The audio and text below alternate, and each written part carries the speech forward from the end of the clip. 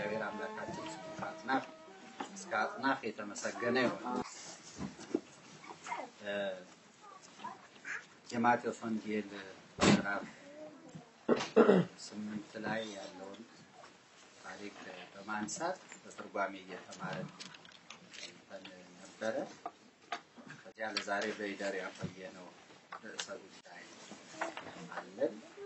ይኸውም ከፈውስ ጋር በተያያዘ የሚነሱ ነጥቦችን ጠቅለል ባለ ሁኔታ ለማየት ነበር እና እነዛን ነጥቦች እናነሳለን። ሰው ወደ እርሱ ጠጋ ብሎ ያደሩበትን መናፍስት እንደገሰጸለት እና እንዳስወጣቸው እነዚያ ማጋንንት ከዚህ ሰው ካስወጣህን ቅርብ ወደ ተሰበሰቡት የአሳማ መንጋዎች እንድንሄድ ፍቀድልን ብለው አስፈቅደው ለምነው ጌታችንም እንዲሄዱ ፈቀደላቸው። አሳሞቹን ደግሞ እየመሩ ወደ ገደል ወደ ባህር ከተቷቸው። በዚህ ምክንያት አሳማዎቹን ያረቡ የነበሩ ደግሞ ሰዎች በጌታችን ላይ በተቃውሞ ተነስተው ሀገራችንን ለቀህ ሂድልን እስከ ማለት እንደደረሱ ተመልክተን ነበር። ይሄን ትርጓሜው ምንድን ነው የሚለውን በትክክል አይተናል። ከዚያ በኋላ እንደ መልእክት ደግሞ እንደ ትምህርት ከዚህ ምን እንማራለን የሚለውን ነጥብ አንስተን እየተወያየን ነበረ። በዚያ ውስጥ በዋናነት አጋንንትን እንደፈለጉ እንዲናገሩ እድል መስጠት ተገቢ አይደለም። አጋንንቱን ለማዘዝ እና ለመቅጣት ለማባረር የሚችል ስልጣን ያለው ጽድቅ ያለው ማንኛውም ክፍል ቢሆን እድሉን ሲያገኝ ማድረግ ያለበት ነገር እነዛን አጋንንት ቦታ ማስለቀቅ፣ መስደድ፣ ማባረር ነው። በቅዱሳት መጽሐፍትም የተመዘገበው ይሄንን ነው ብለን ነው ትምህርት ያደረግነው። ይሄንን ጌታችን መድኃኒታችን ኢየሱስ ክርስቶስ ያደረገውን ይዘን ነው አንደኛ ይህ አጋንንት ያደሩበትን ሰው ክፉ መንፈስ ገስጾ እንዴት እንደሰደደለት በዚያ ላይ ደግሞ በማርቆስ ወንጌል የተመዘገበ ሌላ ኃይለ ቃል አለ። እሱን ደግሞ እንመለከታለን። የማርቆስ ወንጌል ምዕራፍ አንድ ከቁጥር ሀያ አንድ ወደ ቅፍርናሆምም ገቡ ይላል። ወዲያውም በሰንበት ወደ ምኩራብ ገብቶ አስተማረ።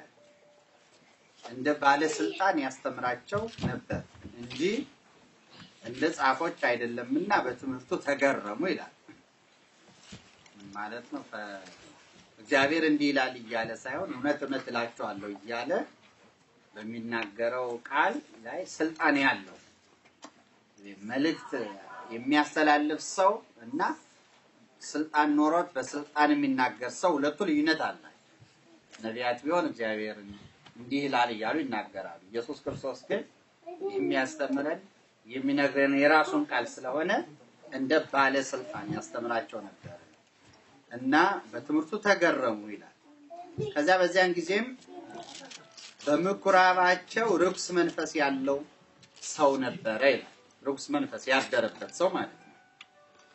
እርሱም የናዝሬቱ ኢየሱስ ሆይ ከአንተ ጋራ ምን አለን? አንተን የምንቃወምበት ምን ኃይል አለን? በምን እንችልሃለን አንተ እና እኛ ግድደራችን ከሰው ልጅ ጋር ነው እንጂ ከአንተ ጋር አይደለም እንደማለት ነው። የናዝሬቱ ኢየሱስ ሆይ ከአንተ ጋር ምን አለን? ልታጠፋን መጣህን? ማን እንደሆን ካውቄያለሁ አለ። ደግሞ ሰይጣን ነው እኮ እንደዚህ የሚለው ይንቀጠቅጣል። እንግዲህ በጌታችን ፊት ማለት ነው እና የእግዚአብሔር ቅዱሱ ብሎ ጮኸ። እስካሁን የሚናገረው ምን ስህተት አለው? በእውነት ሰይጣን የናዝሬቱ ኢየሱስ አለው አንተ ጋር ምን አለን አለ። ልታጠፋን መጣ ወይ አለና አንተ የእግዚአብሔር ቅዱስ ነህ። ከዚያ እንዲህ እያለ ሲመሰክር ሲናገር ጌታችን መድኃኒታችን ኢየሱስ ክርስቶስ አይ ምስክርነት ከሰጠህማ ያው ስንቱ ሲቃወም ፈሪሳውያን፣ ሰዱቃውያን አላምን እያሉ ያንተ ምስክርነት በዚህ ሰዓት እንደውም አስፈላጊና ጠቃሚ ነው ብሎ ምስክርነቱን እንዲያስፋፋ እድል አልሰጠውም ማለት ነው። እኔ ብነግራቸውም ስላልሰሙ በዚህ አይነት ሁኔታና ምልክት ቢያምኑ እስቲ ብሎ እድል አልሰጠው። ሁሉ ዓለም ሁሉ እንዲማር ሐዋርያትን ልኳል። ግን ሰይጣን እንደ መልእክተኛ ግን አላከም ማለት ነው። ስለዚህ እንደውም ምን አለው እንደው ሰይጣን በራሱ ጊዜ እንኳን ሊልከው መልእክት አስተላልፍ ምስክርነት ስጥ ሊለው ማለት ነው ራሱ ሊፈቅድለት ሰይጣን በራሱ ጊዜም እንኳ ሲያወራ ሲቀባጥር ምን አለው ይላል ኢየሱስም ዝም በል አለው። አርም ወተፈጸመ ዝም በል እና ዝም በል ከእርሱም ውጣ ብሎ ገሰጸው ይላል። ያን ሰይጣን ምን አደረገው ማለት ነው? ዝም አሰኘው፣ ገሰጸው። ከዛ በኋላ ርኩሱ መንፈስ አንፈራገጠውና በታላቅ ድምፅ ጮኸ፣ ከእርሱ ወጣ ይላል። ሁሉም ይህን ምንድን ነው? በስልጣን ርኩሳን መናፍስትን ያዛል እነርሱም ይታዘዙለታልና ይህ አዲስ ትምህርት ምንድን ነው ብለው እስኪጠያየቁ ድረስ አደነቁ። ዝናውም ወዲያው በየስፍራው ወደ ገሊላ ዙሪያ ሁሉ ወጣ ይላል እና ይሄ በተደጋጋሚ የሆነ ነው። በራሳቸው አጋንንት ደግሞ ዲዳ የሆኑ አጋንንት አሉ አይደለ? እሱ መቼም እግዚአብሔር በመጀመሪያውም ዲዳ ስላደረገልን ተመስገን ማለት ነው አይደለ? መናገራቸውን እስካልወደድን ድረስ ዲዳ የሆኑ አጋንንት አሉ ይላል። ቀጣዩ ደግሞ ዲዳ አጋንንት ደግሞ ስለሚያሰቃየው ሰው ደግሞ ይተርክልናል ማለት ነው እና ዋናው ከዚህ ታሪክ ያነሳነው ነገር ወይም መውሰድ ያለብን ነገር ከትምህርታችን ጋር በተያያዘ ምን የሚለው ነው? ዝም በል ይሄ በወንጌል የሰፈረ ነው። እመቤታችን በስደቷ ወራት ከነገረ ማርያም ጠቅሰናል። ታስታውሱ እንደሆነ ሳምንትም እመቤታችንም አጋንንቱን ስታስወጣ አጋንንቱ እንዳያወሩ፣ እንዳይለፈልፉ፣ እንዳይናገሩ እድል በመንፈግ አርምም ወተፈጸም ልክ ልጇ ኢየሱስ ክርስቶስ እንዳደረገው ማለት ነው። ዝም በልና ውጣ ብላ እመቤታችን ገስጻ ክፉ መንፈስ በመንገድ ላይ በጉዟ በስደቷ ጊዜ በክፉ መንፈስ ይሰቃይ የነበረውን ሰው እንዲህ ስትፈውሰው በነገረ ማርያም ተመዝግቧል። ይሄን ሐዋርያትም ወርሰውታል። ይሄን አካሄድ ማለት ሐዋርያትም ያደረጉት ይሄን ነው። በሐዋርያት ስራ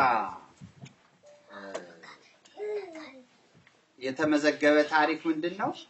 ሰይጣን ከኋላ የተከተለ ሲናገር የሚናገረውን ነገር በመልእክት ደረጃ በሚያስተላልፈው መልእክት ደረጃ ስናየው ክፉ ነገር ያለው አይመስልም፣ ወይም ደግሞ የተሳሳተ ነገር በውስጡ ያለው አይመስልም። ቢሆንም ግን ሐዋርያት ያንን አልተቀበሉም። በመልእክት ደረጃ ያለውን አይደለም ማስተናገድ የፈለጉ። በነገራችን ላይ ሌላ ከዚህ ጋር አብረን ማየት የሚገባን ነጥብ አለ። ይህንን እንቀጥለውና ማለት ነው እንመለስበታለን ማለት ነው። አንድን ወገን ወይም ክፍል ዝም ብሎ ማዳመጥ በፈቃደኝነት ወይም በተረጋጋ መንፈስ፣ በሽታ መንፈስ ማዳመጥ መልእክት ብቻ እንድንጋራ አይደለም የሚያደርገው ያን መንፈስ መቀበልንም ጭምር ያመጣል። አጋንንት እንዲያወሩ መፈቀድ የለበትም ስንል መሰረታዊ ነጥብ ማለት ነው። የተሰነካከለ ነገር ይናገሩና ኑፋቄ ያለበት ክደት ያለበት ወይም የተሳሳተ ነገር ተናግረው ሊያታልሉን ይችላሉ በሚል ብቻ አይደለም። በዚህም እኛ አንበልጣቸውም። በዚህም ቢሆን ማለት ነው አጋንንትን አንበልጥም። እነሱ መልካም የሚመስለንንና እኛን ባላወቅነው ጥበብ ሊያሰናክለን የሚችለን ነገር መናገር ይችላሉ አጋንንት በንግግር።